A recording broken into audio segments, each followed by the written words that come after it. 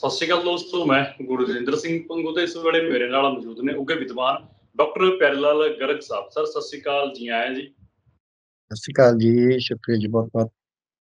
ਜੀ ਡਾਕਟਰ ਸਾਹਿਬ ਦੇਸ਼ ਦੀ ਸੱਤਾ ਦੇ ਵਿੱਚ ਤੀਜੀ ਵਾਰ ਹਕੂਮਤ ਹੰਢਾ ਰਹੀ ਆ ਬੀਜੇਪੀ ਸਰਕਾਰ। ਇਸ ਵਾਰ ਮੈਜੋਰਟੀ ਹਾਸਲ ਨਹੀਂ ਇਸ ਵਾਰ ਐਨਡੀਏ ਦੀ ਨਾਲ ਸਪੋਰਟ ਹੈ।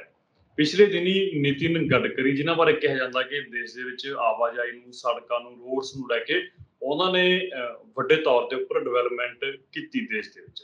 ਬੀਤੇ ਦਿਨੀ ਉਹਨਾਂ ਦੀ ਇੱਕ ਵੀਡੀਓ ਆਉਂਦੀ ਹੈ, ਉਹ ਕਹਿੰਦੇ ਕਿ ਆਪੋਜੀਸ਼ਨ ਦੇ ਇੱਕ ਵੱਡੇ ਲੀਡਰ ਨੇ ਉਹਨਾਂ ਨੂੰ ਪ੍ਰਧਾਨ ਮੰਤਰੀ ਦਾ ਪਦ ਆਫਰ ਕੀਤਾ। ਜਿਹੜੀ ਆਹ ਸਟੇਟਮੈਂਟ ਹੈ, ਇਸ ਸਟੇਟਮੈਂਟ ਦੇ ਕੀ ਅਰਥ ਨੇ ਕਿ ਬੀਜੇਪੀ ਦੇ ਵਿੱਚ ਸਭ ਕੁਝ ਠੀਕ ਨਹੀਂ ਇਹ ਮੈਂ ਇਸ ਕਰਕੇ ਕਹਿ ਰਿਹਾ ਕਿ ਤੀਜੀ ਵਾਰ ਜੇਕਰ ਬੀਜੇਪੀ ਸਰਕਾਰ ਹੈਗੀ ਹੈ ਇਸ ਵਾਰ ਸੱਤਾ ਦੇ ਵਿੱਚ ਕੀ ਪਹਿਲਾਂ ਜਿੰਨੀ ਹੀ ਤਾਕਤਵਰ ਹੈ, ਜਾਂ ਪਹਿਲਾਂ ਜਿੰਨੀ ਤਾਕਤ ਹੁਣ ਬੀਜੇਪੀ ਕੋਲ ਨਹੀਂ ਹੈਗੀ? ਇਹਦੇ ਨਾਲੋਂ ਨਾਲ ਜਿਵੇਂ ਚੰਦਰਚੂੜ ਹੋਰਾਂ ਦੇ ਘਰ ਬੀਜੇਪੀ ਦੇ ਸਰਮੌਰ ਨੇਤਾ ਨਰਿੰਦਰ ਮੋਦੀ ਗਏ, ਉਸ ਚੀਜ਼ ਦੇ ਕੀ ਅਰਥ ਨੇ? ਉਹ ਵੀ ਨਾਲ ਦੱਸਿਓ। ਕਿ ਇਸ ਵਾਰ ਜਿਹੜੀਆਂ ਜੜਾਂ ਨੇ, ਉਹ ਕਮਜ਼ੋਰ ਨੇ? ਪਕੜ ਬੀਜੇਪੀ ਦੀ ਉਨੀ ਮਜ਼ਬੂਤ ਹੈ ਨਹੀਂ, ਡਾਕਟਰ ਸਾਹਿਬ। ਇਸ ਕਰਕੇ ਬੈਕਫੁੱਟ ਤੇ ਖੇਡ ਰਹੀ ਆ ਬੀਜੇਪੀ। ਅਸਲ ਦੇ ਵਿੱਚ ਦੇਸ਼ ਦੀ ਸਿਆਸਤ ਦੇ ਵਿੱਚ ਚੱਲ ਕੀ ਰਿਹਾ ਸੀ ਤੁਹਾਡੇ ਕੋਲੋਂ ਸਮਝ ਕੇ ਦਰਸ਼ਕਾਂ ਅੱਗੇ ਰੱਖਣਾ ਚਾਹੁੰਦੇ ਆ ਜੀ ਸਰ ਬੰਦੂ ਸਾਹਿਬ ਜਿਸਕ ਸਵਾਲ ਹੈ ਵੀ ਐਨਡੀਏ ਦੀ ਜਿਹੜੀ ਇਸ ਵਾਰੀ ਜਿੱਤ ਹੋਈ ਆ, ਉਸ ਜਿੱਤ ਤੇ ਬੜੇ ਵੱਡੇ ਸਵਾਲ ਨੇ। ਉਹ ਪਹਿਲੇ ਦਿਨ ਤੋਂ ਸ਼ੁਰੂ ਹੋ ਗਏ ਸੀ, ਜਦ ਤੋਂ ਚੋਣ ਹੋਈ। ਚੋਣ ਵੇਲੇ ਹੀ ਮੁੱਖ ਚੋਣ ਕਮਿਸ਼ਨ ਦੀ ਜੋ ਭੂਮਿਕਾ ਸੀ, ਉਹਦੇ ਉੱਤੇ ਬੜੇ ਵੱਡੇ ਵੱਡੇ ਸਵਾਲ ਲੋਕਾਂ ਨੇ ਖੜੇ ਕਰੇ। ਇਸ ਕਰਕੇ ਉਹਨਾਂ ਨੇ ਅੰਕੜੇ ਨਹੀਂ ਦਿੱਤੇ, ਪਹਿਲੀ ਵਾਰੀ ਪਹਿਲੇ ਦਿਨ ਅੰਕੜੇ ਦਿੱਤੇ, ਨਾ ਦਿਖਤਾ। ਕਿ ਕੱਲ ਤੱਕ ਅਸੀਂ ਸਾਰੇ ਕਨਸਟੀਚੁਐਂਸੀ ਵਾਈਜ਼ ਦੇ ਦਾਂਗੇ। ਮੁੜ ਕੇ ਹਲਕੇ ਵਾਈਜ਼ ਅੰਕੜੇ ਦੇਣੇ ਤਾਂ ਕੀ ਸੀਗੇ? ਮੁੜ ਕੇ 11 ਦਿਨ ਹਲ ਅੰਕੜਿਆਂ ਦੀ ਪ੍ਰਤੀਸ਼ਤ ਵੀ ਨਹੀਂ ਦਿੱਤੀ। ਪੂਰੇ ਅੰਕੜੇ ਤੱਕ ਹੀ ਦੇਣੇ ਸੀ? ਦੂਜੇ ਫੇਜ਼ ਦੇ 4 ਦਿਨ ਨਹੀਂ ਦਿੱਤੇ ਔਰ ਸ਼ਾਮ ਨੂੰ ਵੀ ਸਟੇਟ ਵਾਈਜ਼ ਨਹੀਂ ਪਾਏ। ਇੱਕ ਪੂਰੀ ਫਿਗਰ ਪਾਤੀ ਵੀ ਇੰਨੇ ਪਰਸੈਂਟ ਵੋਟ ਪਈ ਹੈ ਉਸ ਤੋਂ ਬਾਅਦ ਉਹ ਵੋਟਾਂ ਵਧਾਉਂਦੇ ਗਏ। ਤੇ ਉਹਦੇ ਨਾਲ ਬੜੀਆਂ ਰਿਪੋਰਟਾਂ ਛਪੀਆਂ ਨੇ ਵੀ 79 ਸੀਟਾਂ ਦੇ ਉੱਤੇ ਰੌਲਾ ਪਿਆ ਕਿ ਇਹ ਫਾਲਤੂ ਦੁਨੀਆ ਨੇ। ਇਹ ਜਿੱਤ ਨਹੀਂ ਸਕਦੇ ਸੀ, ਹਾਰ ਰਹੇ ਸੀ, ਇਹ ਸਾਰਾ ਕੁਝ ਬਹੁਤ ਕੁਝ ਹੈ। ਪਰ ਜਿਹੜੀ ਇਹ ਸਰਕਾਰ ਹੈ, ਇਹ ਕਿਉਂਕਿ ਬੀਜੇਪੀ ਕੋਲ ਆਪਣੀ ਮੈਜੋਰਟੀ ਹੈ ਨਹੀਂ ਤੇ ਦੋ ਗਟਕ ਜਿਹੜੇ ਨੇ, ਖਾਸ ਕਰਕੇ ਨਿਤਿਸ਼ ਔਰ ਚੰਦਰਬਾਬੂ ਨਾਇਡੂ, ਇਹ ਦੋਨਾਂ ਨੇ ਆਪਦੇ ਆਪਦੇ ਸੂਬਿਆਂ ਦਾ, ਆਪਦਾ ਆਪਦਾ ਜੋ ਕੁਝ ਕਰਨਾ, ਇਹਨਾਂ ਦੀ ਪਲਟੀ ਮਾਰਨ ਦਾ ਕੋਈ ਪਤਾ ਨਹੀਂ ਲੱਗਦਾ ਕਦ ਕੀ ਕਰ ਜਾਣਗੇ, ਕਿਉਂਕਿ ਇਹਨਾਂ ਦੇ ਉੱਤੇ, ਦੋਹਾਂ ਦੇ ਉੱਤੇ ਹੀ ਦੇਸ਼ ਕਿਸੇ ਜ਼ਮਾਨੇ 'ਚ ਦੋਹਾਂ ਨੂੰ ਹੀ ਆਪਦੇ ਆਪਦੇ ਸਮੇਂ 'ਚ ਮੁੱਖ ਮੰਤਰੀ ਦੇ ਪ੍ਰਧਾਨ ਮੰਤਰੀ ਦੇ ਉਮੀਦਵਾਰ ਸਮਝਦਾ ਸੀ ਤੇ ਪਰ ਇਹਨਾਂ ਦੀ ਆਪਦੀ ਛਵੀ ਹੈ ਜਿਹੜੀ ਹੁਣ ਬਹੁਤ ਥੱਲੇ ਚਲੀ ਗਈ ਇਸ ਮਾਮਲੇ 'ਚ। ਇਹਨਾਂ ਦਾ ਕੋਈ ਪਤਾ ਨਹੀਂ ਇਹ ਐਨਡੀਏ ਨਾਲ ਰਹਿਣ ਜਾਂ ਨਾ ਰਹਿਣ, ਪਰ ਇਹਨਾਂ ਦੇ ਉੱਤੇ ਇਹ ਵਿਸ਼ਵਾਸ ਕਰਨਾ ਕਿ ਵੀ ਇਹ ਬਹੁਤ ਦੇਸ਼ ਦਾ ਕੁਝ ਕਰਨ ਵਾਸਤੇ ਤਿਆਰ ਹੋਣਗੇ, ਇਹ ਸ਼ੰਕਾ ਹੈ। ਕਿਉਂਕਿ ਇੱਕ ਆਪਦੇ ਇਰਾਦੇ ਦਾ ਧੁੰਦਾ ਪੱਕਾ ਵੀ ਹੋਣਾ ਚਾਹੀਦਾ। ਤੁਸੀਂ ਇੱਕ ਪਾਸੇ ਲੱਗੋ, ਜਿੱਧਰ ਵੀ ਲੱਗਣਾ ਲੱਗੋ, ਕਦੇ ਉਧਰ ਕਦੇ ਉਧਰ ਨਿਤਿਸ਼ ਤਾਂ ਐਨਡੀਏ 'ਚ ਜਾ ਕੇ ਦੂਜੇ ਵਿਰੋਧੀ ਤਰ੍ਹਾਂ ਦੇ ਗੱਠਜੋੜ 'ਚ ਵੀ ਜਾ ਕੇ ਵਾਪਸ ਆਇਆ। ਸੋ ਪਹਿਲਾਂ ਵੀ ਇਹਨੇ ਕਿੰਨੇ ਵਾਰੀ ਛਾਲਾਂ ਮਾਰੀਆਂ। ਪਹਿਲਾਂ ਲਾਲੂ ਪ੍ਰਸ਼ਾਦ ਯਾਦਵ ਨਾਲ ਤੋੜ ਕੇ ਬੀਜੇਪੀ ਨਾਲ ਇਹ ਕੋਈ ਇੱਕ ਵਾਰੀ ਨਹੀਂ ਹੋਇਆ ਬਾਰ-ਬਾਰ ਹੋਇਆ। ਬਲਕਿ ਮਮਤਾ ਬੈਨਰਜੀ ਇੱਕ ਵਾਰੀ ਛੱਡ ਗਈ ਤੇ ਛੱਡ ਗਈ। ਇਹਨੇ ਤਾਂ ਛੱਡਿਆ ਹੀ ਨਹੀਂ ਹੈ। ਉਦੋਂ ਠਾਕਰੇ ਇੱਕ ਵਾਰੀ ਛੱਡ ਗਿਆ ਤੇ ਛੱਡ ਗਿਆ। ਤੇ ਚੰਦਰਬਾਬੂ ਨਾਇਡੂ ਨਹੀਂ ਰਲਿਆ ਤੇ ਨਹੀਂ ਰਲਿਆ ਮਤਲਬ ਹੋਰ ਕਿਸੇ ਨਾਲ। ਤੇ ਇਹ ਤਾਂ ਕਦੇ ਕਿਸੇ ਨਾਲ, ਕਦੇ ਕਿਸੇ ਨਾਲ, ਕਦੇ ਕਿਸੇ ਨਾਲ। ਇਹ ਰਲਣੋਂ ਵੀ ਨਹੀਂ ਹਟਿਆ।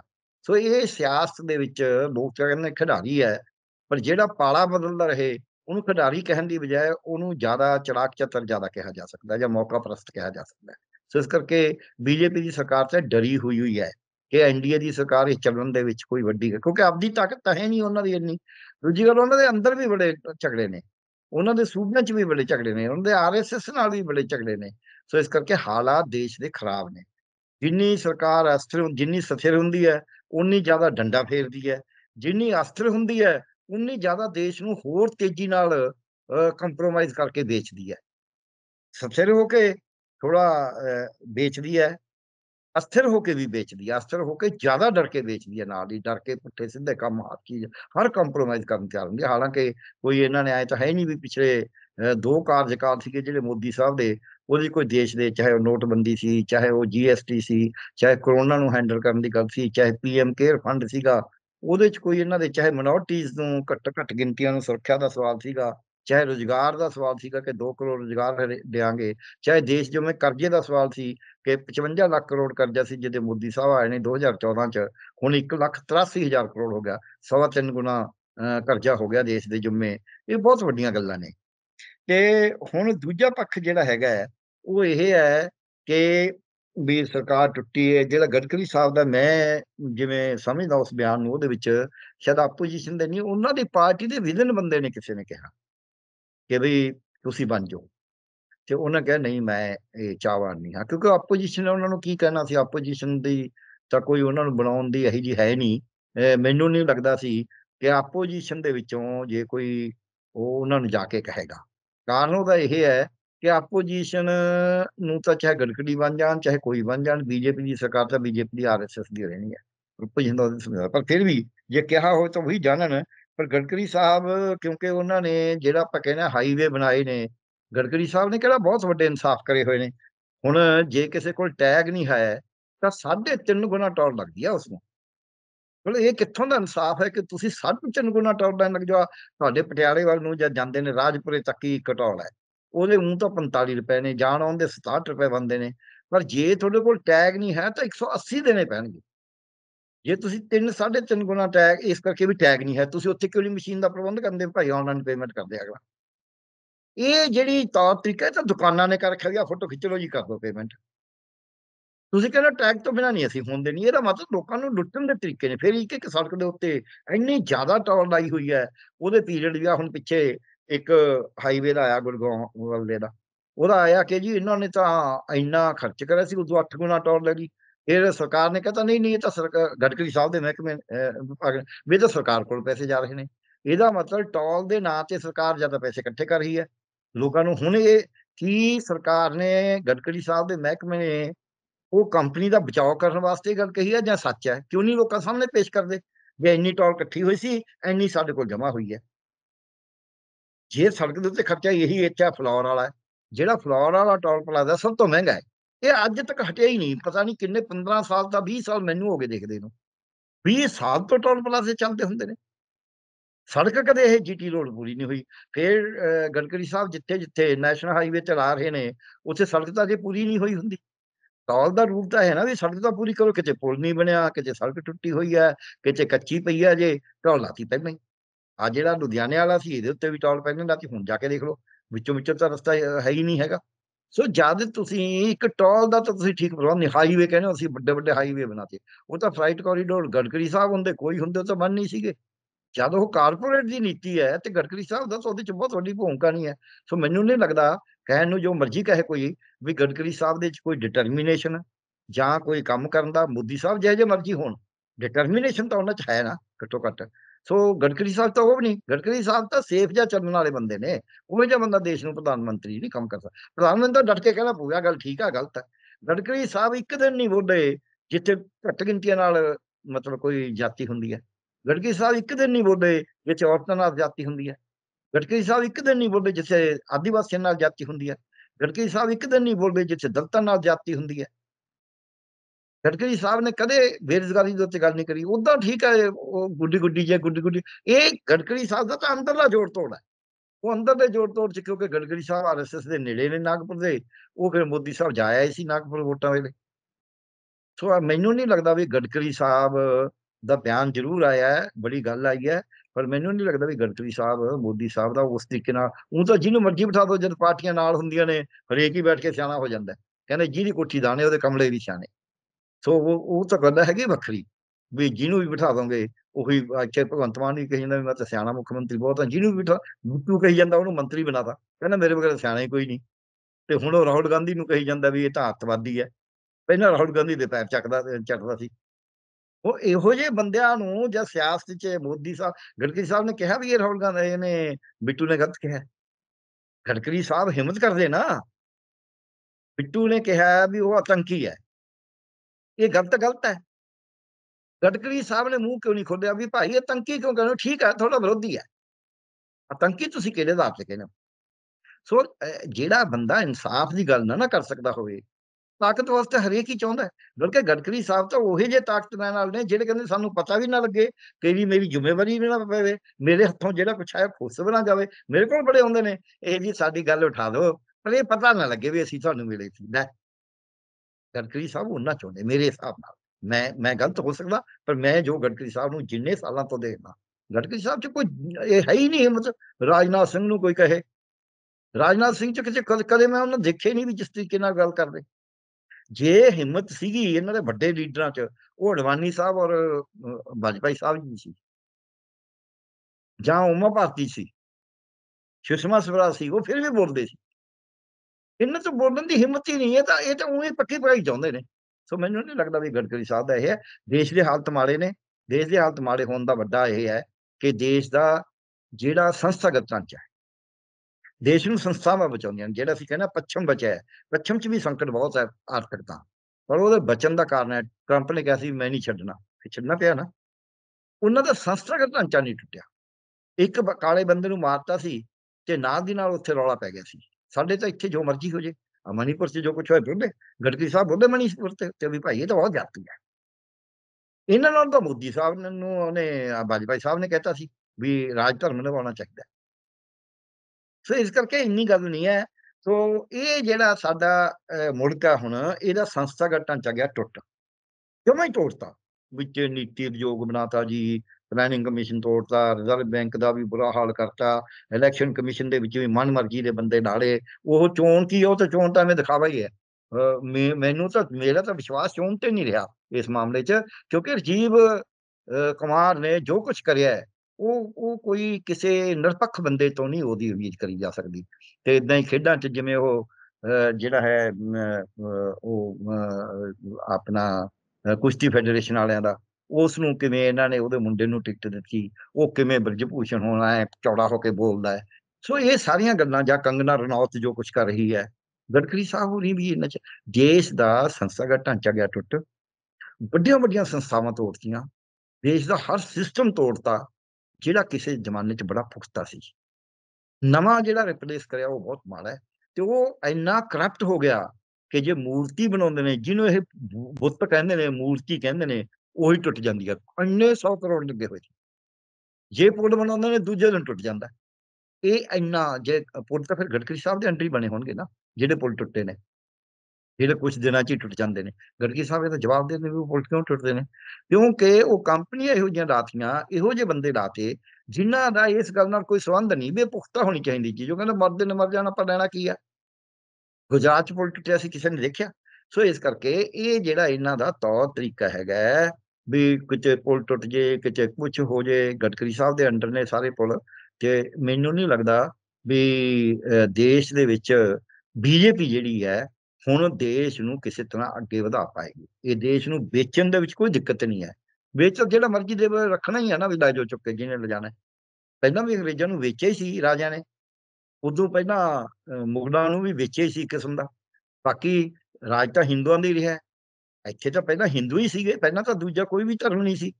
ਫਿਰ ਇੱਥੇ ਸ਼ਾਕ ਆਏ, ਹੁਣ ਆਏ, ਕੁਛ ਨਾ ਆਏ, ਹੈ, ਤੇ ਮੁਗਲ ਆਏ, ਗੁਲਾਮਾਂ ਬੰਸ ਆਈ, ਮੁਸਲਮਾਨ ਆਏ, ਇੱਥੇ ਤਾਂ ਬਥੇਰੇ ਆਏ ਨੇ।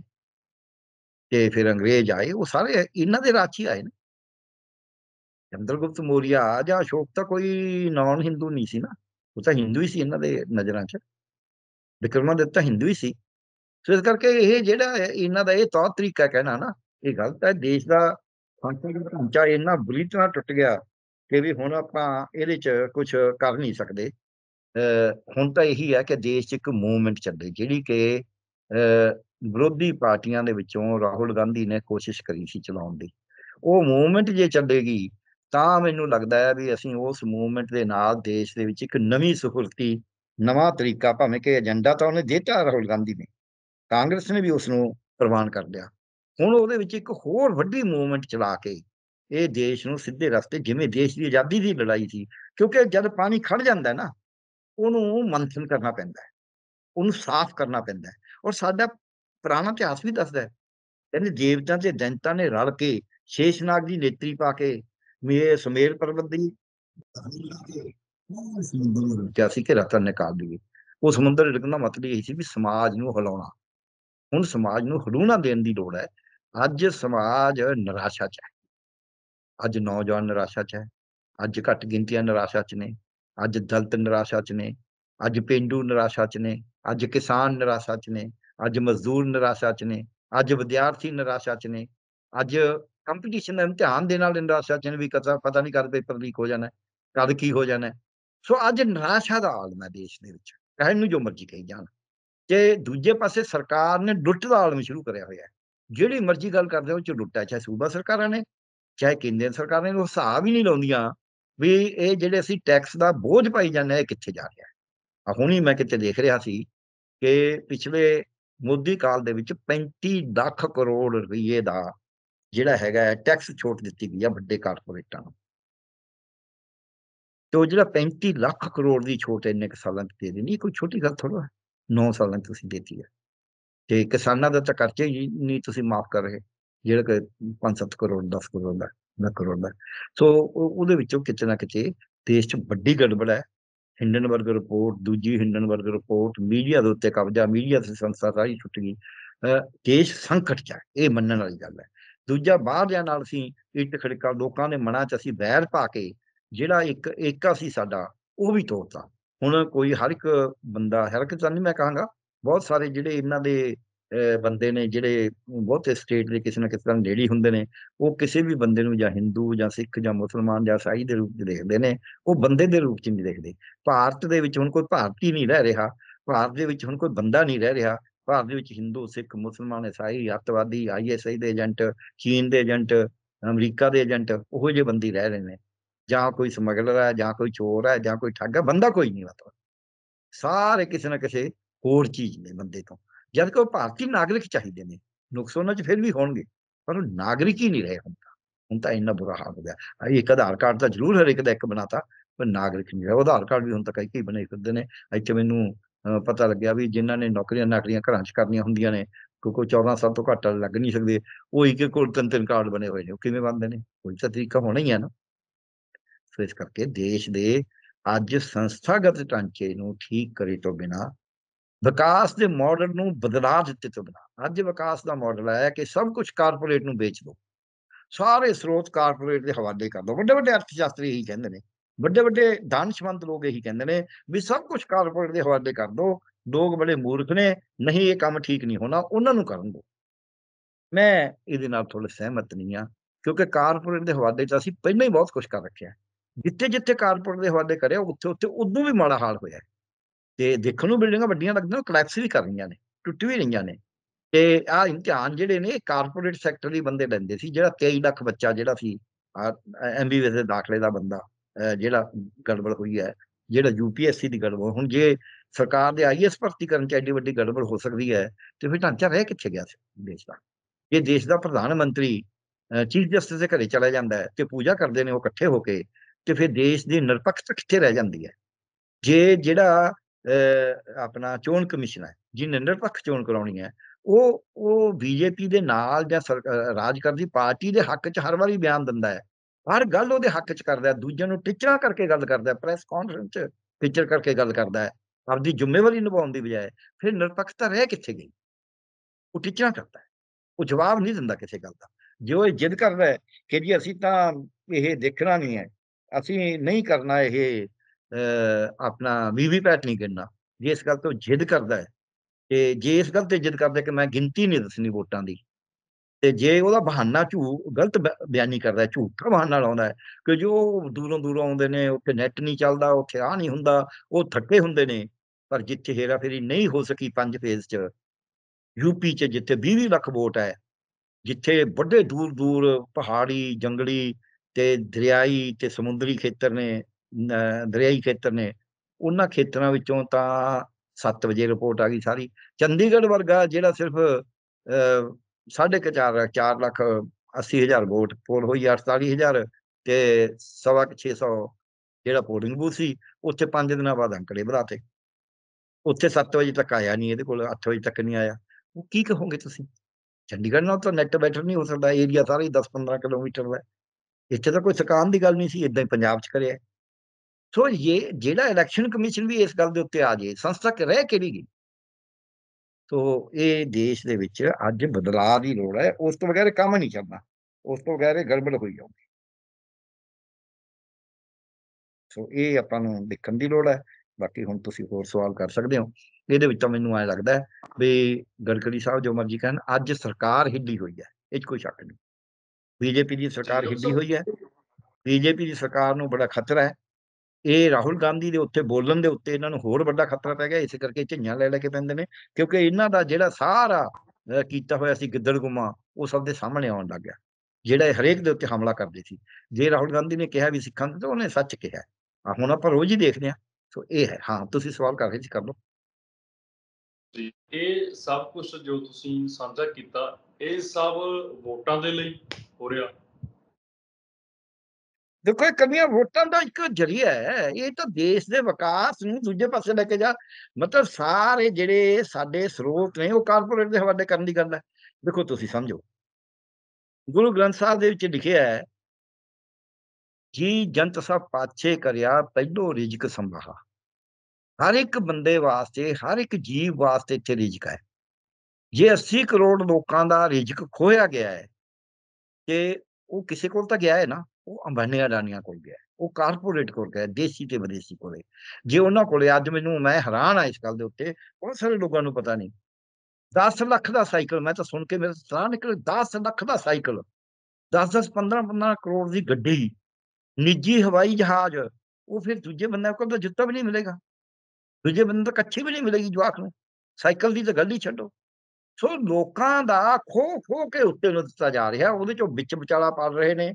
ਉਹ ਪਤਾ ਨਹੀਂ ਕਿੰਨੇ ਕਰੋੜਾਂ ਰੁਪਏ ਖਰਚ ਕਰੇ ਨੇ 3-3 ਲੱਖ ਰੁਪਏ ਕਿਲੋ ਦਾ ਪਨੀਰ ਉਹ ਸੋਚ ਸਕਦਾ ਹੈ ਇਹ ਅਸੀਂ ਬਚਪਨ ਚ ਸੁਣਦੇ ਹੁੰਦੇ ਵੀ ਅਮੀਰਾਂ ਦੇ ਤਾਂ ਕੁੱਤੇ ਵੀ ਬਿਸਕੁਟ ਖਾਂਦੇ ਨੇ ਤੇ ਗਰੀਬਾਂ ਦੇ ਜਵਾਕਾਂ ਨੂੰ ਵੀ ਨਹੀਂ ਮਿਲਦਾ। ਪਰ ਹੁਣ ਤਾਂ ਜਿਹੜਾ ਹੈਗਾ ਗਰੀਬ ਤੋਂ ਵੀ ਥੋੜੇ ਜਿਹਾ ਉੱਪਰਲੇ ਨੇ, ਉਹਨਾਂ ਦੇ ਜਵਾਕਾਂ ਨੂੰ ਵੀ ਨਹੀਂ ਮਿਲਦਾ। ਇੰਨਾ ਇੰਨਾ ਜੇ ਤੁਸੀਂ ਖਰਚਾ, ਐਡੇ ਐਡੇ ਖਰਚੇ ਕਰੋਗੇ, ਮੋਦੀ ਸਾਹਿਬ, ਤਿੰਨ ਤਿੰਨ ਵਾਰੀ ਕੱਪੜੇ 10 ਲੱਖ ਦਾ ਕੋਟ ਕਦੇ ਸੁਣਿਆ? ਦੇਸ਼ ਦਾ ਪ੍ਰਧਾਨ ਮੰਤਰੀ 10 ਲੱਖ ਦਾ ਕੋਟ ਪਾਏਗਾ। ਉਹ ਦੇਸ਼ ਜਿੱਥੇ 80 ਕਰੋੜ ਲੋਕਾਂ ਨੂੰ ਅਨਾਜ ਦਿੱਤਾ ਜਾ ਰਿਹਾ ਦੇਸ਼ ਦੇ ਜਿਹੜੇ ਵੱਡੇ ਵੱਡੇ ਨੇਤਾ ਆਪਦੇ ਆਪ ਨੂੰ ਕਹਾਉਂਦੇ ਨੇ ਵੱਡੀਆਂ ਵੱਡੀਆਂ ਗੱਡੀਆਂ ਜਾਣਗੇ। ਔਰ ਦੇਸ਼ ਦਾ ਹਾਲ ਇਹ ਹੋਏਗਾ, ਜਿਹੜੇ ਗੜਕਰੀ ਸਾਹਿਬ ਤੁਸੀਂ ਗੱਲ ਕਰਦੇ ਜਿਹਨੇ ਦ੍ਰੋਪਦੀ ਮੁਰਮੂ ਜੀ ਜਿਹੜੇ ਸਾਡੇ ਰਾਸ਼ਟਰਪਤੀ ਨੇ, ਉਹਨਾਂ ਨੂੰ ਅੰਦਰ ਨਹੀਂ ਬਣਨ ਦਿੱਤਾ ਗਰਭ ਗ੍ਰਹਿ ਦੇ ਵਿੱਚ ਤੇ ਉਹ ਬੁੱਢੇ ਨਹੀਂ ਹੈਗੇ ਤੇ ਬਾਕੀ ਉਹ ਖੁਦ ਵੀ ਨਹੀਂ ਬੋਲਦੇ ਕਿਉਂਕਿ ਜਦ ਹੁਣ ਜਿਹੜਾ ਦਲਤ ਕੁੜੀ ਦਾ ਰੇਪ ਹੋਇਆ, ਹੋਰਾਂ ਦਾ ਰੇਪ ਹੋਇਆ, ਜੋ ਮਣੀਪੁਰ ਚ ਹੋਇਆ ਉਦੋਂ ਤਾਂ ਉਹਨਾਂ ਦੀ ਆਤਮਾ ਹਿੱਲੀ ਨਹੀਂ। ਦ੍ਰੋਪਦੀ ਮੁਰਮੂ ਜੀ, ਮਹਾਮਹਿਮ ਦੀ ਆਤਮਾ ਨਹੀਂ ਹਿੱਲੀ। ਜੋ ਮਣੀਪੁਰ ਚ ਬਰਬਰਤਾ ਹੋਈ, ਪਰ ਉਹਨਾਂ ਦੀ ਆਤਮਾ ਹਿੱਲ ਗਈ। ਇੱਕ ਵਿਰੋਧੀ ਪਾਰਟੀ ਦੀ ਸਰਕਾਰ ਚ ਜੋ ਕੁਝ ਹੋਇਆ, ਉਹ ਕਿਹਨੇ ਕਰਿਆ, ਕਿਹਨੇ ਕਰਾਇਆ, ਉਸ ਨਾ ਵੀ ਜਾਈਏ। ਹੈ ਕੌਣ ਕੌਣ ਰਲੇ ਹੋਏ ਨੇ? ਕਿੰਨਾ ਕਿੰਨਾ ਦਾ ਹਿੱਤ ਸੀ? ਕਿਤੇ ਮੁੜ ਕੇ ਨਿਰਭਈਆ ਕਾਂਡ ਦੀ ਤਰ੍ਹਾਂ ਜਿਹਨੇ ਨਿਰਭਈਆ ਕਾਂਡ ਰਾਹੀਂ ਦਿੱਲੀ ਤੇ ਕਬਜ਼ਾ ਕਰਿਆ ਸੀ, ਉਥੇ ਬੰਗਾਲ ਤੇ ਕਬਜ਼ਾ ਕਰਨ ਦੀ ਕੋਈ ਚਾਹਤਾ ਨਹੀਂ ਹੋਊਗੀ। ਇਹ ਸਾਰਾ ਕੁਝ ਸੋਚਣ ਦੀ ਲੋੜ ਹੈ। ਪਰ ਦ੍ਰੋਪਦੀ ਮੁਰਮੂ ਜੀ ਨੂੰ ਬਹੁਤ ਦੁੱਖ ਹੋਇਆ ਉਸ ਦਾ ਬਹੁਤ ਕਮਾ ਹੋਣਾ ਚਾਹੀਦਾ ਦੁੱਖ ਤਾਂ ਪਰ ਹੋਣਾ ਸਾਰੀਆਂ ਬੇਟੀਆਂ ਦਾ ਚਾਹੀਦਾ ਨਾ ਉਹੀ ਬਿਹਾਰ ਚ ਦਲਿਤ ਬੇਟੀ ਦਾ ਰੇਪ ਹੋਇਆ ਇਹ ਵੀ ਕਤਲ ਹੋਏ ਹੋਰਾਂ ਜਗ੍ਹਾ ਤੇ ਹੋਏ ਯੂਪੀ ਚ ਹੋਏ ਹੈ ਮੁਸਲਮਾਨਾਂ ਦੇ ਨਾਲ ਹੋਇਆ ਬਿਲਕਿਸ ਬਾਨੋ ਤੇ ਤਾਂ ਦ੍ਰੋਪਦੀ ਮੁਰਮੂ ਜੀ ਨੂੰ ਕੋਈ ਚਿੰਤਾ ਨਹੀਂ ਹੋਈ ਮਣੀਪੁਰ ਦੇ ਵਿੱਚ ਕੋਈ ਚਿੰਤਾ ਨਹੀਂ ਹੋਈ ਕਿਉਂਕਿ ਉਹ ਔਰਤਾਂ ਜਿਹੜੀਆਂ ਸੀ ਉਹ ਈਸਾਈ ਸੀਗੀਆਂ ਹਾਲਾਂਕਿ ਆਪ ਵੀ ਇਹ ਅਹ, ਆਦੀਵਾਸੀ ਹੈ ਪਰ ਨਹੀਂ ਕਿਉਂਕਿ ਇਹ ਤਾਂ ਹਿੰਦੂ ਹੈ ਵੱਡੀ ਸੋ ਇਸ ਕਰਕੇ ਆਪਾਂ ਇਸ ਗੱਲ ਨੂੰ ਇਹ ਮੰਨ ਕੇ ਚੱਲੀਏ ਵੀ ਦੇਸ਼ ਦਾ ਢਾਂਚਾ ਟੋਟਲ ਤੋੜਤਾ, ਦੇਸ਼ ਦੀ ਏਕਤਾ ਤੋੜਤੀ, ਸਾਰੇ ਸਰੋਤ, ਚਾਹੇ ਉਹ ਅੰਤਰਿਕਸ਼ ਹੈ, ਚਾਹੇ ਉਹ ਪਹਾੜ ਨੇ, ਚਾਹੇ ਉਹ ਜੰਗਲ ਨੇ, ਚਾਹੇ ਉਹ ਜ਼ਮੀਨ ਹੈ, ਚਾਹੇ ਉਹ ਸਮੁੰਦਰ ਹੈ, ਚਾਹੇ ਸਮੁੰਦਰ ਦੇ ਥੱਲੇ ਦੀ ਵੈਲਥ ਹੈ, ਚਾਹੇ ਧਰਤੀ ਦੇ ਥੱਲੇ ਦੀ ਪਤਾਲ ਜਿਹਨੂੰ ਆਪਾਂ ਕਹਿੰਦੇ ਹਾਂ ਕਾਨਾ ਜਾਣੀ ਕਿ ਉਹ ਵੈਲਥ ਹੈ, ਦੌਲਤ ਹੈ, ਇਹ ਸਾਰੀ ਦੌਲਤ ਕਿਸੇ ਨਾ ਕਿਸੇ ਰੂਪ ਚ ਅੰਬਾਨੀਆਂ ਅਡਾਨੀਆਂ ਦੇ ਹਵਾਲੇ ਕਰੀ ਜਾ ਰਹੀ ਹੈ। ਜਿਹੜੀਆਂ ਅਸੀਂ ਵੱਡੇ ਵੱਡੇ ਸੰਸਥਾਵਾਂ, ਵੱਡੇ ਵੱਡੇ ਡੈਮ, ਵੱਡੇ ਵੱਡੇ ਰੇਲਾਂ, ਵੱਡੇ ਵੱਡੇ ਹਵਾਈ ਅੱਡੇ ਬਣਾਏ ਸੀ, ਉਹ ਸਾਰੇ ਵੇਚੇ ਜਾ ਰਹੇ ਨੇ। ਹੁਣ 에ਅਰਲਾਈਨ ਟੂਟਰ ਨੂੰ ਵੇਚੀ ਹੋਈ ਹੈ ਨਾ, ਤੇ ਦਿੱਲੀ ਦਾ ਹਵਾਈ ਅੱਡਾ ਵੀ ਸ਼ਾਇਦ ਵੇਚਦਾ ਮੇਰਾ ਖਿਆਲ ਹੈ। ਉਹ ਜੇ ਤੁਸੀਂ ਇਹੀ ਕੁਝ ਕਰਨਾ ਸੀ, ਤੇ ਇੰਨੇ ਸਾਲਾਂ ਚ ਬਣਾਇਆ ਸੀ, ਤੇ ਕਹਿੰਦੇ ਮਾਂ ਫਿਰੇ ਫੋਸੀ ਫੋਸੀ, ਪੁੱਤ ਬਖਸ਼ੇ ਗੁਹਾਰੇ। ਇਹ ਅਸੀਂ ਤਾਂ ਬੜਾ ਔਖੇ ਹੋ ਹੋ ਕੇ, ਪੇਟ ਬੰਨ ਬੰਨ ਕੇ ਪੰਜਾਬੀ ਲੋਕਾਂ ਨੇ ਇੰਨਾ ਅਨਾਜ ਪੈਦਾ ਕਰਕੇ ਦਿੱਤਾ ਵੀ ਬਾਹਰੋਂ ਨਾ ਮੰਗਾਉਣਾ ਪਵੇ, ਸਾਡੀ ਵਿਦੇਸ਼ੀ ਮੁਦਰਾ ਬਚ ਰਹੇ। ਹੁਣ ਤਾਂ ਵਿਦੇਸ਼ੀ ਮੁਦਰਾ ਅੰਨ ਤਾਂ ਛੱਡੋ, ਹੁਣ ਤਾਂ ਸਾਈਕਲਾਂ ਤੇ ਮੁਦਰਾ ਖਰਚੀ ਜਾਂਦੇ ਨੇ। ਹੁਣ ਤਾਂ ਕੋਈ ਅੰਤ ਜਾਂ ਸਾਡਾ ਬੈਲੈਂਸ ਆਫ ਪੇਮੈਂਟ ਜਿਹਨੂੰ ਕਹਿੰਦੇ ਆ, ਭੁਗਤਾਨ ਸੰਤੁਲਨ, ਉਹ ਵਿਗੜ ਰਿਹਾ ਹੈ। ਸਾਡੇ ਅਸੀਂ ਜਿਹੜਾ ਬਾਹਰੋਂ ਮਾਲ ਮੰਗਾ ਰਹੇ, ਕਿਉਂਕਿ ਅਮੀਰਾਂ ਕੋਲ ਪੈਸਾ ਬਹੁਤ ਹੈ, ਉਹ, ਉਹਨਾਂ ਨੂੰ ਫ਼ਰਕ ਹੀ ਨਹੀਂ ਪੈਂਦਾ ਬਾਹਰੋਂ ਮਾਲ ਮੰਗਾਉਣ ਦਾ। ਬਾਹਰੋਂ ਅਸੀਂ ਮਾਲ ਜ਼ਿਆਦਾ ਮੰਗਾ ਰਹੇ ਹਾਂ, ਵਿਦੇਸ਼ੀ ਮੁਦਰਾ ਸਾਡੀ ਬਾਹਰ ਜ਼ਿਆਦਾ ਜਾ ਰਹੀ ਹੈ, ਕਮਾ ਅਸੀਂ ਘਟ ਰਹੇ ਹਾਂ, ਸਾਡਾ ਵਿੱਕ ਘਟ ਰਿਹਾ ਹੈ। ਔਰ ਉਹ ਵੀ ਵੇਚਣ ਵਾਸਤੇ ਵੀ ਸਾਡੇ ਰੁਪਏ ਦੀ ਇੰਨੀ ਕੀਮਤ ਘਟ ਗਈ ਹੈ ਕਿ ਸਾਨੂੰ ਜੇ ਮੈਂ ਦੇਖਾਂ 1975 ਚ 5-6 ਰੁਪਏ ਦਾ ਸੀਗਾ ਡਾਲਰ ਤੇ ਅੱਜ 84 ਕੁ ਰੁਪਏ ਦਾ ਹੋ ਗਿਆ 83 84 ਰੁਪਏ ਦਾ। ਤੇ ਜੇ 75 ਤੋਂ ਲੈ ਕੇ ਐਮਰਜੈਂਸੀ ਦਾ ਇੰਨਾ ਰੌਲਾ ਪਾਇਆ, ਇਹਨਾਂ ਨੇ ਹੋਰ ਕਰਿਆ, ਸਾਰਾ ਕੁਝ ਹੋਇਆ, ਫਿਰ ਜਿੱਦਾਂ ਇਹ ਸਰਕਾਰ ਮੋਦੀ ਸਾਹਿਬ ਦੀ ਆਈ ਹੈ ਉਹਦੇ 55 ਕੇ 50 55 ਦਾ ਸੀ। ਤੇ 75 ਤੋਂ ਲੈ ਕੇ, ਅਹ 6 ਰੁਪਏ ਤੋਂ 55 ਤੇ ਗਿਆ ਸੀਗਾ। ਤੇ ਕਿੰਨੇ ਸਾਲਾਂ ਚ? ਕਹਿ ਲਓ ਵੀ ਤੁਸੀਂ ਹੁਣ 29 ਸਾ- 39 ਸਾਲਾਂ ਚ। ਤੇ ਹੁਣ ਇਹਨਾਂ ਨੇ ਤਾਂ 9 ਸਾਲਾਂ ਦੇ ਉੱਤੇ ਹੀ 50 55 ਤੋਂ 85 ਤੇ ਪਹੁੰਚਾਤਾ। ਇਹ ਕਿਵੇਂ ਗਿਣੋਗੇ ਤੁਸੀਂ? ਕਿਵੇਂ ਦੇਖੋਗੇ? ਕਿੱਧਰ ਨੂੰ ਜਾ ਰਿਹਾ ਹੈ? ਸੋ ਲੋਕਾਂ ਦਾ ਭਗਤਾਨ ਸੁਲਨ ਸੰਤੁਲਨ ਸਾਡਾ ਤਾਂ ਵਿਗੜ ਰਿਹਾ ਹੈ ਕਿ ਅਸੀਂ ਜਿਹੜਾ ਸਮਾਨ ਵੇਚਦੇ ਹਾਂ, ਅੱਗੇ ਜੇ ਇੱਕ 10 ਕੁਇੰਟਲ ਸਮਾਨ ਵੇਚ ਕੇ ਜਿੰਨੇ ਪੈਸੇ ਆਉਂਦੇ ਸੀ, ਹੁਣ ਉਨੇ ਪੈਸੇ ਡਾਲਰ ਲੈਣ ਵਾਸਤੇ ਸਾਨੂੰ 20 ਕੁਇੰਟਲ ਵੇਚਣਾ ਪੈ ਰਿਹਾ ਹੈ। ਕਿਉਂਕਿ ਸਾਡੇ ਰੁਪਈਏ ਦੀ ਕੀਮਤ ਘਟ ਗਈ। ਸੋ ਇਹ ਇੱਕ ਵੱਡੀ ਸਮੱਸਿਆ ਹੈ। ਦੂਜਾ ਸਾਡੇ ਉੱਤੇ ਅੰਕੁਸ਼ ਲੱਗਿਆ ਹੋਇਆ ਹੈ। ਚਾਹੇ ਸਾਨੂੰ ਕਣਕ ਦੀ ਲੋੜ ਹੋਵੇ ਜਾਂ ਨਾ ਹੋਵੇ, ਸਾਨੂੰ ਵਿਦੇਸ਼ੀ ਕਣਕ ਖਰੀਦਣੀ ਪੈਣੀ ਹੈ WTO ਨਾਲ ਸਾਡਾ ਸਮਝੌਤਾ ਹੈ। ਤੇ ਜੇ ਅਸੀਂ ਵਿਦੇਸ਼ਾਂ ਤੋਂ ਕਣਕ ਮਹਿੰਗੀ ਖਰੀਦਾਂਗੇ, ਆਪਦੀ ਕਣਕ ਅਸੀਂ ਕਿਸਾਨ ਨੂੰ ਅਸੀਂ ਪੈਸੇ ਨਹੀਂ ਦੇਵਾਂਗੇ ਤੇ ਹਾਲਤ ਤਾਂ ਮਾੜਾ ਹੀ ਹੋਣਾ ਕੋਈ ਦੋ ਰਾਏ ਨਹੀਂ ਇਹਦੇ ਚ। ਅਸੀਂ ਜਿੰਨੇ ਅੰਕੜੇ ਦਿੰਦੇ ਆ ਝੂਠੋ ਝੂਠ ਅੰਕੜੇ ਆ, ਜਿਹੜੇ ਪਾਸੇ ਦੇਖੋ ਅੰਕੜੇ ਝੂਠੇ ਆਈ ਜਾਂਦੇ ਨੇ, ਹੁਣ ਤਾਂ ਅੰਕੜੇ ਬੰਦ ਹੀ ਕਰਤੇ, ਇਕੱਠੇ ਕਰਨੇ। ਜੇ ਅੰਕੜੇ ਵੀ ਤੁਸੀਂ ਇਕੱਠੇ ਕਰਨੇ ਬੰਦ ਕਰਤੇ, ਤੁਸੀਂ ਕਿਹੜੇ ਹਿਸਾਬ ਤੋਂ ਲਾਓਗੇ ਨਾ ਕਿਤੇ? ਦੇਸ਼ ਦੀ ਹਾਲਤ ਇਹ ਹੈ ਅੱਜ ਦੇਸ਼ ਦੀ ਜਨਸੰਖਿਆ ਸੁਮਾਰੀ ਨਹੀਂ ਹੋਈ। ਦੁਨੀਆ ਦਾ ਕੋਈ ਦੇਸ਼ ਇਸ ਤਰ੍ਹਾਂ ਨਹੀਂ ਹੈਗਾ ਸਾਡੇ ਵਰਗਾ ਦੇਸ਼ ਜਿਹਨੇ ਜਨਸੰਖਿਆ ਸੁਮਾਰੀ ਨਾ ਕਰੀ ਹੋਵੇ। ਹਰ ਦਸਾਂ ਸਾਲਾਂ ਬਾਅਦ ਹੁੰਦੀ ਹੈ ਅਸੀਂ ਇੱਕ ਇਹੋ ਜਿਹੇ ਆ ਜਿਨ੍ਹਾਂ ਦੀ ਜਨਸੰਖਿਆ ਸੁਮਾਰੀ ਨਹੀਂ ਕਰੀ ਕਿਉਂਕਿ ਲੋਕਾਂ ਨੂੰ ਅੰਕੜੇ ਪਤਾ ਲੱਗ ਜਾਣਗੇ। ਜੇ ਤੁਸੀਂ ਅੰਕੜੇ ਹੀ ਨਹੀਂ ਦੇਣੇ ਤੁਸੀਂ ਮਨਮਰਜ਼ੀ ਕਰ ਫਿਰ ਤੁਸੀਂ ਜੋ ਮਰਜ਼ੀ ਕਹੀ ਜਾਓ ਕਿਉਂਕਿ ਤੁਸੀਂ ਝੂਠ ਬੋਲਣਾ ਹੈ ਤੁਸੀਂ ਗਲਤ ਬਿਆਨੀਆਂ ਕਰਨੀਆਂ ਹਾਂਜੀ? ਲਾਸਟ 2011 ਚ ਹੋਈ ਸੀ ਲੋਕ ਤੋਂ 11 ਬਾਅਦ ਚ ਹੋਈ ਸੀ ਨਹੀਂ। 21 ਚੋਂ ਨਹੀਂ ਸੀ। 21 ਚ ਬਹਾਨਾ ਲਾਤਾ ਵੀ ਕਰੋਨਾ ਹੈ। ਕਰੋਨਾ ਤਾਂ ਹੁਣ ਖਤਮ ਹੋਈ ਨੂੰ ਕਿੰਨਾ ਚਿਰ ਹੋ ਗਿਆ? ਨਾਲੇ ਕਰੋਨਾ ਤਾਂ ਬਾਅਦ ਚ ਆਇਆ। ਤਿਆਰੀ ਤਾਂ ਪਹਿਲਾਂ ਹੋਣੀ ਚਾਹੀਦੀ ਸੀ। ਪਹਿਲਾਂ ਖਾਨਾ ਸਵਾਰੀ ਹੁੰਦੀ ਹੈ। ਖਾਨਾ ਸਵਾਰੀ ਵੀ ਨਹੀਂ ਘਰਾਂ ਦੀ ਗਿਣਤੀ। ਖਾਨਾ ਸਵਾਰੀ ਵੀ ਨਹੀਂ ਕਰੀ ਸੀ ਇਹਨਾਂ ਨੇ ਤਾਂ।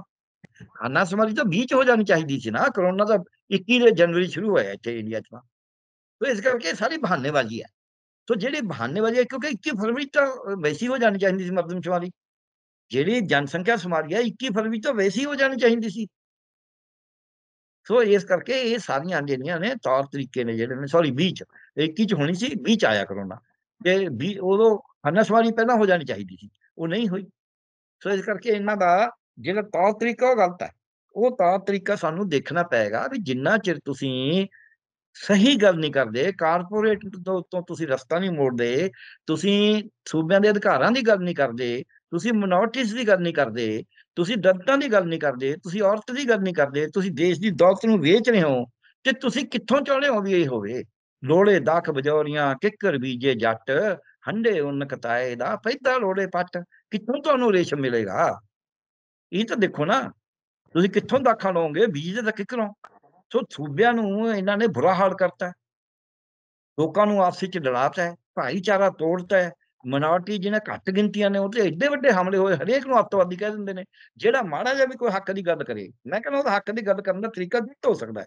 ਮੈਂ ਵੀ ਉਹਦੇ ਨਾਲ ਹੋ ਸਕਦਾ, ਸਹਿਮਤ ਨਾ ਹੋਵਾਂ। ਪਰ ਉਹਨੂੰ ਤੁਸੀਂ ਅੱਤਵਾਦੀ, ਉਹਨੂੰ ਵੱਖਵਾਦੀ ਉਹਨੂੰ ਦੇਸ਼ ਨੂੰ ਤੋੜਨ ਵਾਲਾ, ਉਹਨੂੰ ਆਈਐਸਆਈ ਦਾ ਏਜੰਟ, ਉਹਨੂੰ ਚੀਨ ਦਾ ਏਜੰਟ, ਉਹਨੂੰ ਪਾਕਿਸਤਾਨ ਦਾ ਏਜੰਟ, ਇਹ ਇਹ ਕਿੱਥੋਂ ਦੇ ਲਖਵਾ ਗਏ ਤੁਹਾਡੇ ਕੋਲੇ? ਔਰ ਜਿੰਨੇ ਫੜੇ ਗਏ ਨੇ, ਆਹ ਹੁਣ ਪਿੱਛੇ ਨਸ਼ਿਆਂ ਦਾ ਫੜਿਆ ਫੜਿਆ ਗਿਆ ਤਾਂ ਵੀ ਉਹ ਹਿੰਦੂ ਹੈ। ਜਿਹੜੇ ਮਰਜ਼ੀ ਪਾਸੇ ਫੜੇ ਜਾਣ ਕਿਉਂਕਿ ਹਿੰਦੂਆਂ ਦੀ ਗਿਣਤੀ ਜ਼ਿਆਦਾ ਇਹ ਹਿੰਦੂਆਂ ਨੂੰ ਕਹਿੰਦੇ ਸਾਰੇ ਦੇਸ਼ ਭਗਤ ਨੇ ਬਾਕੀ ਸਾਰੇ ਦੇਸ਼ ਤੋਂ ਹੀ ਨੇ।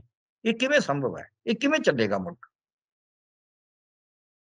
ਜੀ ਬਿਲਕੁਲ ਬਿਲਕੁਲ। ਸੋ ਡਾਕਟਰ ਸਾਹਿਬ ਬਹੁਤ ਬਹੁਤ ਸ਼ੁਕਰੀਆ ਤੁਹਾਡਾ ਅਹਿਮ ਵਿਸ਼ੇ ਤੇ ਗੱਲਬਾਤ ਕਰਨ ਦੇ ਲਈ ਤੁਸੀਂ ਸਮਾਂ ਕੱਢਿਆ ਵਿਚਾਰ ਸਾਂਝੇ ਕੀਤੇ। ਧੰਨਵਾਦ ਤੁਹਾਡਾ। ਸ਼ੁਕਰੀਆ ਜੀ।